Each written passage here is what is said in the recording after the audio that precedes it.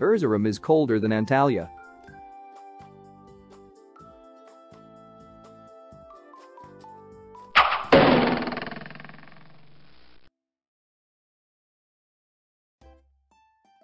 Messi is shorter than Ronaldo.